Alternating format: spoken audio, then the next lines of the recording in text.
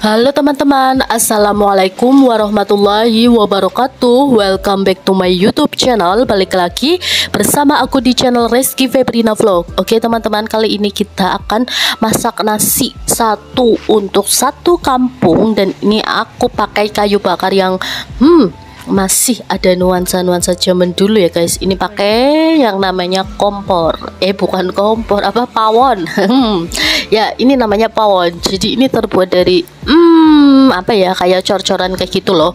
Dan ini aku lagi ada acara yaitu tahlilan di rumah mbah aku. Dan ini adalah situasi di belakang rumah. Dan ini Hmm, ada kebiasaan yang kita lakuin, yang kita lakukan untuk masak besar ya guys. Jadi hmm pakai apa ya? Pakai kayu bakar dan juga semuanya serba zaman dulu dan semuanya serba hmm sederhana. Oke teman-teman kita akan lihat bagaimana prosesnya untuk bikin hmm, nasi dalam satu tumpeng atau nasi dalam satu panci Oke okay guys, kali ini, hmm, lihat nih, kalau misal pakai batu seperti ini, jadi eh batu, bukan batu guys, pakai kayu bakar ini, uh, muru patut main pol, ya, hmm.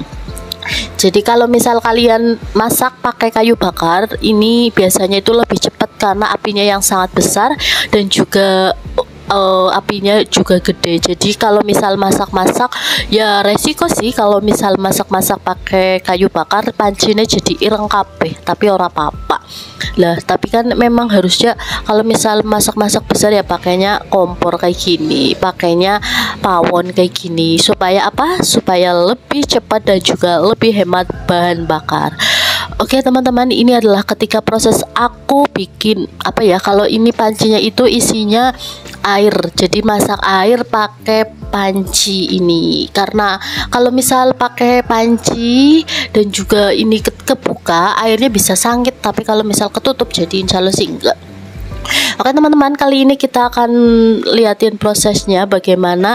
Sih ini ada Mama No yang aku yang masak. Jadi kali ini kita langsung lihat prosesnya bikin apa ya bikin nasi dan juga pawon oke teman-teman dan kali ini ya ini adalah situasi desa. Jadi kayak gini ini adalah di belakang rumah yang belakangnya itu masih banyak banget tanah kosong dan juga masih banyak banget pekarangan-pekarangan yang memang benar-benar kosong dan juga semuanya itu itu memang kosong ya. Dan uh, semoga suatu saat nanti ini banyak banget rumah. Dan juga suatu saat nanti pasti ini ramai banget penduduknya. Oke okay, teman-teman, jadi kali ini uh, apa ya ikutin terus ke seharian aku dan juga ikutin terus bagaimana uh, ngapain aja hari ini dan juga ngapain aja kegiatan-kegiatan aku dan ya teman-teman kali ini ya ini aku mau sedikit cerita nih di belakang rumah ini. Ternyata masih ada uh, kayak semacam apa ya kayak semacam hmm, bukan danau sih kayak kolam kolam ikan. Dan ini karena banyak banget ikannya jadi kita tanami buat eceng gondok. Dan semuanya itu bisa untuk dibikin pakan ternak. Lah di belakang rumah ini banyak banget ternak ayam ya. Jadi di belakangnya itu ada ternak ayam ternak eh, hewan-hewan peliharaan kami dan juga semuanya itu kita pakai yang namanya um, naturalisasi. Jadi masih sejuk banget di daerah ini dan juga masih benar-benar naturalisasi banget ya.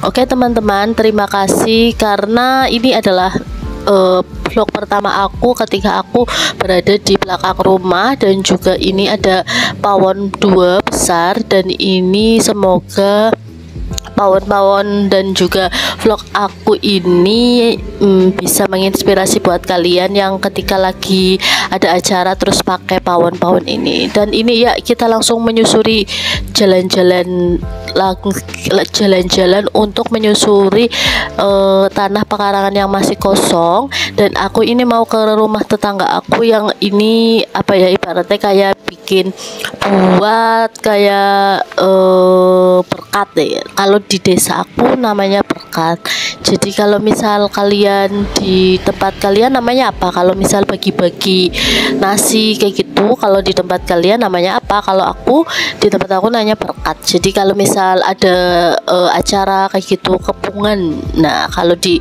eh, bagi-bagi uh, nasi uh, dan lain-lain itu kepungan kalau di tempat aku Oke, okay, kali ini kita langsung ke rumah tetangga aku ya. Ini juga masih naturalisasi. Semuanya masih benar-benar naturalisasi. Jadi ya beginilah kehidupan di desa yang memang sangat-sangat masih sederhana dan juga semuanya itu masih sangat-sangat naturalisasi. Oke, okay, kita langsung balik lagi ya guys jalan-jalannya. Lah ya teman-teman, ya memang sih kalau misal di desa itu situasi dan kondisinya memang ya seperti inilah situasi dan kondisi di desa.